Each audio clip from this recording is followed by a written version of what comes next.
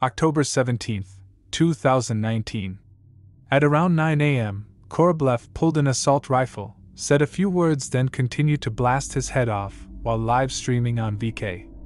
There is no confirmed cause that drove him to suicide. Some said he was heartbroken, and some others said that he was battling with an illness. But what we can confirm is that the video ended with a Naya, polka, which means Naya by in Russian.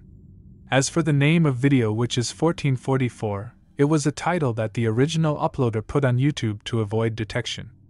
There is also a myth that the video was cursed.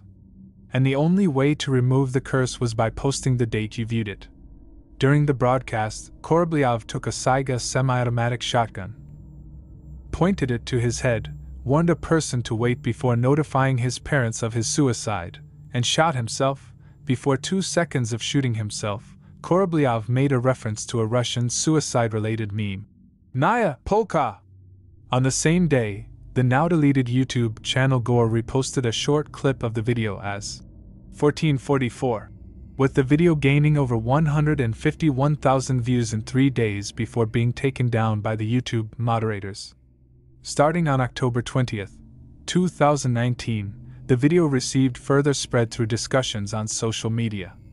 Similar to Momo, it was rumored among Spanish speaking internet users that the video was cursed by the original uploader on the deep web and that the curse could only be lifted from the viewer by commenting on the date on the video. At that time, multiple users made posts warning against watching the video.